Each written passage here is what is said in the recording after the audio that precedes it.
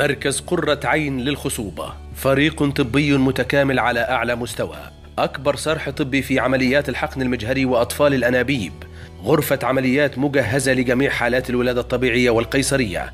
خدمات طبية وفندقية على أعلى مستوى. ينفرد المركز بوجود أحدث أجهزة تعقيم الهواء داخل غرفة العمليات والمعامل. وجهاز ام سي لتكبير الحيوانات المنوية وتشخيص العيوب الخلقية داخل الحيوان المنوي. أحدث أجهزة ميكروسكوب للحقن المجهري وأطفال الأنابيب وحدة خاصة بمنظار الرحم ووحدة بالمنظار الباطني التشخيصي والجراحي لعمليات تأخر الإنجاب. أحدث الحضانات العالمية التي تقوم بتصوير الأجنة داخل الحضانات على مدار 24 ساعة.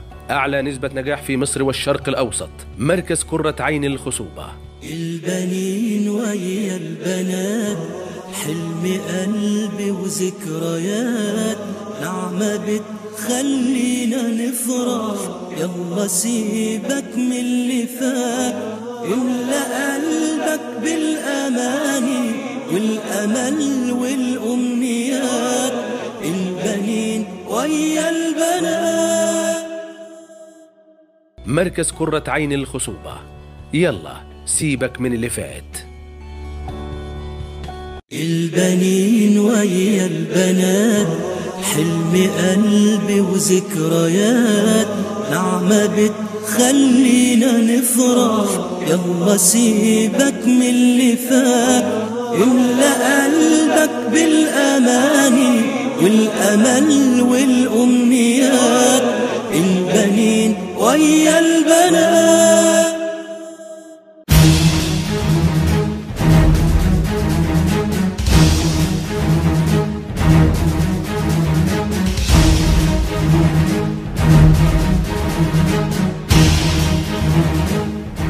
مشاهدينا في كل مكان أسعد الله أوقاتكم دائما بكل خير. أهلا بكم في برنامجكم الطبي قرة عين. معنا دكتور عبد المعطي السمنودي استشاري أمراض النساء والتوليد والعقم والحقن المجهري وأطفال الأنابيب وعضو الجمعية الأوروبية والأمريكية للخصوبة. أهلا بسيادتك يا دكتور. أهلا بك أستاذ علي. بدأنا مجموعة حلقات عن مساعدة الحمل ووسائل مساعدة الحمل واتكلمنا حضرتك إن كانت عبارة عن تلقيح صناعي أطفال أنابيب حقن مجهري آه. ثم تحديد نوع الجنين ذكر أو أنثى آه. مع الضمان بإذن الله أن هذا الجنين سليم ومعافى ومجنب من أي مخاطر. تشخيص العيوب الكروموسومية في الأطفال تمام. قبل الزرع. تمام. واتكلمنا أيضا عن نسب النجاح. حضرتك لم تغفل نسب النجاح. ذكرت حضرتك في التلقيح الصناعي بتصل إلى 25% في الحقن المجهري وأطفال الأنابيب من 60 ل 70% من 60 ل 70% فعلا غالبا يعني. تمام. طب دكتور سؤال بيطرح نفسه. نفترض أن تم إجراء هذه الوسائل المساعدة للحمل ولكن لا قدر الله في فشل. في فشل. أسباب مظبوط. الفشل إيه يا دكتور؟ مظبوط. اولا وبدء ذي بدء أسباب الفشل الرئيسية. مم. واحد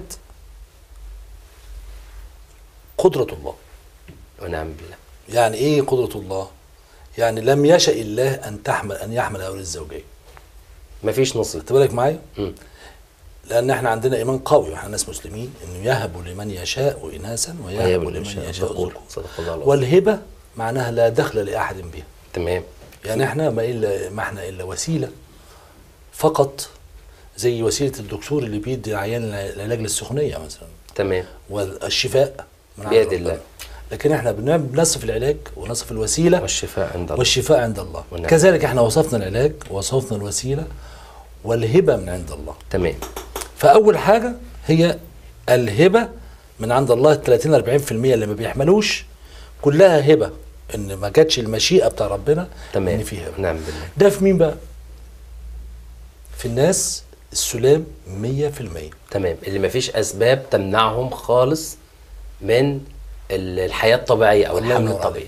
تمام. لكن بقى الأسباب اللي تؤدي إلى الفشل تمام؟ دي اللي مالناش اللي لنا دخل فيها. الأسباب التي تؤدي يعني الشخصين هم السبب في الفشل. في الفشل. إحنا داخلين فيهم دلوقتي بقى. آه. لكن إحنا بنتكلم على إن مفيش أسباب. تمام. يبقى في مشيئة. تمام. يبقى في هبة من ربنا. تمام. لكن في أسباب يبقى الدكتور لازم يعرفها. تمام. الطبيب المعالج لازم يكتشفها. لازم يكتشفها. وإحنا زي ما قلنا يا أستاذ علي الحقن المجهري وأطفال أنابيب زيه زي اللي بيزرع أرضه. تمام. عشان الأرض دي تنبت نبتة سليمة لازم البذرة اللي احطها تكون سليمة. تاكيد لازم الأرض اللي هزرع فيها تكون سليمة. تروى كمان لازم المية اللي رايحة لها والكيماوي اللي بحطه يكون سليم. تمام. طيب نطبق ده على الزوج عايزين والزوج نطبقه على الزوج والزوج. تمام. نفس الطريقة كده. البذرة لازم تكون سليمة. تمام. البذرة عبارة عن إيه؟ في المرأة والرجل حيوان منوي وبويض وبوايض يبقى كل ما يؤدي إلى إن الحيوان المنوي يبقى وحش يبقى هيؤدي إلى بذرة وحشة. تمام. كل ما يؤدي إلى إن البويضة تبقى وحشة هتؤدي إلى البذرة وحشة. آه منتج في النهاية. الجنين في النهاية هيبقى وحش. نتيجة يا عيوب في الحيوانات المنوية يا عيوب في البويضة. المدخلات فيها فيها مشاكل. يبقى لو إحنا دورنا على عيوب الحيوانات المنوية إيه؟ تمام. نتفاداها. عيوب البويضات إيه؟ نتفاداها. هيطلع عندنا منتج جيد جدا وهو جنين جيد. تمام. من الدرجة الأولى. البذرة الأرض ما يروي هذه البذرة وهذه وتلك الأرض. آه. لازم تكون عملية نظيفة تمام. الأرض بقى اللي هي بطانة الرحم. بطانة الرحم. بطانة الرحم لابد تكون سليمة وجاهزة لاستقبال جنين. تمام. يعني ما أروحش أزرع في بطانة رحم عاملة كده طالعه ونازله إذا كانت لو أرض أنا كفلاح هحرتها وأوضبها وألوطها زي ما أنا فلاح بقى. تمام. وأظبطها خالص وأرويها قبل ما إيه؟ قبل ما أبدأ العملية نفسها؟ قبل ما أبدأ العملية. وأرويها قبل ما أبدأ العملية عشان و- تبقى و- جاهزة آه. لالتقاط البذر. تمام. المية اللي بغذي بيها ال- الحيوانات ال- ال- الأرض لازم تكون مية سليمة مية نظيفة. الكيماويات اللي بحطها كيماويات مش مش وحشة تفسد ال- البذر ال- تمام. يعني بالعربي الدم اللي رايح للجنين ده لازم يكون دم سليم. الأدوية اللي بديها العيان لازم تكون أدوية صحيحة وسليمة تمام، لتثبيت سليم. الجنين. الدم ده لا يحتوي على أجسام مضادة وأجسام مناعيه و natural killer cells تقتل الجنين. هنا. إحنا كده ببساطة فصلناها إن إزاي إن كل عيان يتخيل إيه مشكلته. المشكلة الرئيسية طبعا هي البذرة الحيوان المنوي والبويضة. تمام. لأن دي ده دخلها كله في ال- الزوج والزوجة والمعمل وطبيب المعمل والطبيب اللي بيحضر الحالة. تمام. إذا اللعبة كلها في الحتة دي. في المنطقة دي. إذا يعني ربما من يشاهد هذه الحلقة سواء الرجل أو السيدة عندما يذاكر نفسه جيدا. هل أنا سليم؟ هل الحيوانات المنوية سليمة؟ هل ال- ال- الرحم جاهز لاستقبال هذا الجنين أو هذه هذا الحيوان المنوي حتى يتم الإخصاب والجنين؟ مسائل طبية معلومات طبية إذا ما قدر لنا أن نعرفها ربما ستكون النتيجة مختلفة تماما أنا أعرفها دلوقتي هو ما إحنا تمام. وصلنا لمرحلة اللي إحنا بسطنا للعيان إزاي يتخيل تمام. إيه المشكلة اللي ممكن تكون عنده وغفلها الطبيب تمام لو عندي حيوانات منوية مشوهة من الأول أنا شايفها مشوهه خلاص. 100% مشوه. بالعقل كده؟ لا أستخدم. لا هستخدمها والعقل كده متوقع إن سبب الفشل الحيوانات المنويه بتاع الزوج. تمام. خلصنا مني. طب لو عندي سائل منوي ملوث كله ميكروبات وكله صديد. مشكلة. متوقع يطلع منه جنين مش كويس. تمام. وفي الحالة دي أقدر أنا كطبيب أخدها الحي- عينه أخدها منين؟ اخدها من الخصي من ما الخصي. اخدهاش من السائل المنوي تمام. يبقى أنا كطبيب أقدر أتفادى. آخدها من آه، إحدى من منبع. منبع. المية اللي جاية للبيت ميه كلها مية مجاري. ما ينفعش. وسخة. طب أنا أقدر آخد ميه نظيفة منين؟ من المصدر الرئيسي. من عند المكنة بتاع المية. تمام. قال له ما تمشي المواسير. تمام. هي دي نفس الطريقة. تمام. أنا خدت حيوان منوي منين؟ من المكنة. من المك... تمام. ما أخدهاش من الطريق بعد ما يمشي في الطريق الملوث. ويلوث ويتعرض لكثير من الميكروبات. خدت بالك معايا؟ تمام. يعني أدي حاجة تؤكد لي إن العيان عنده دوالي. آه مشكلة. يفضل عمل العملية قبل الحقن المجاري تمام. عيان مدخن تقيل بيدخن كتير جدا. تمام. ده حيوانات منويه كلها مسممة. إن لم يتوقف عن تدخين فترة على الأقل شهرين قبل العملية فالعملية من دلوقتي هيطلع لي جنين مش كويس. نقطة يا دكتور. هنا نصيحة ذهبية. آه، كل شاب تزوج ووجد نفسه إنه ربما هناك مشاكل. عليك اولا أن تقلع عن التدخين. عليك ثانيا أن تتابع جيدا حالتك الصحية عن طريق معمل متخصص. وبالتالي تذهب بالتحليل إلى الدكتور. يبص الدكتور سيادتك على التحليل وجده سليما معافا.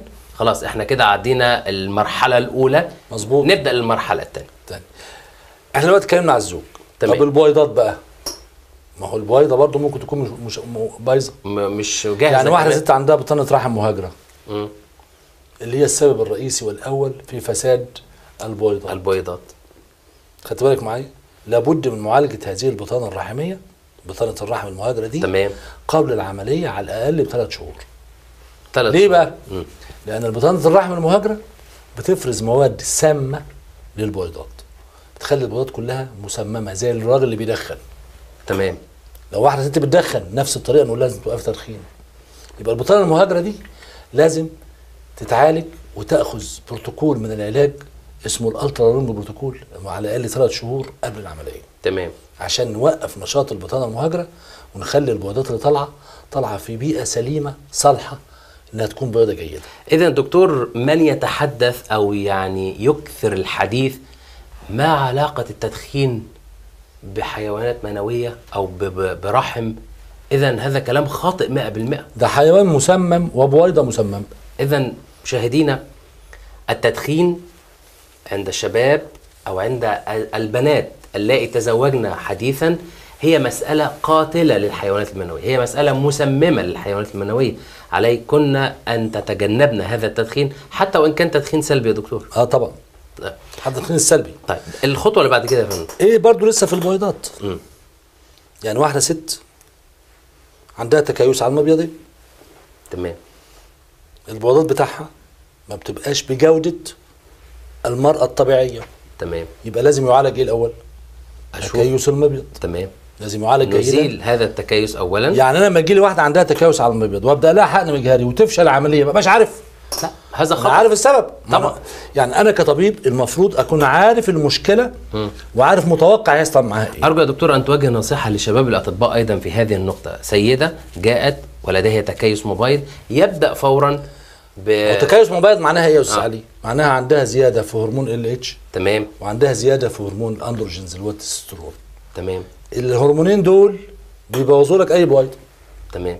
طب ما أنا أصلح دول قبل أبدأ. دول. أولاً. عشان يطلع لي بويضه جيده صحيح صحيح.